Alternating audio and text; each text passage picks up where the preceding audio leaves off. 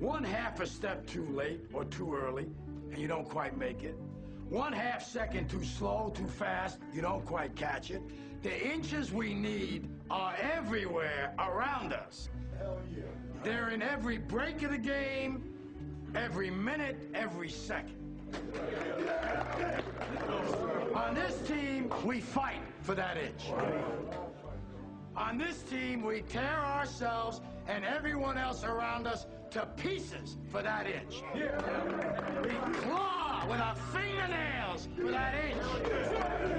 Because we know when we add up all those inches, that's gonna make the fucking difference between winning and losing. Between living and dying.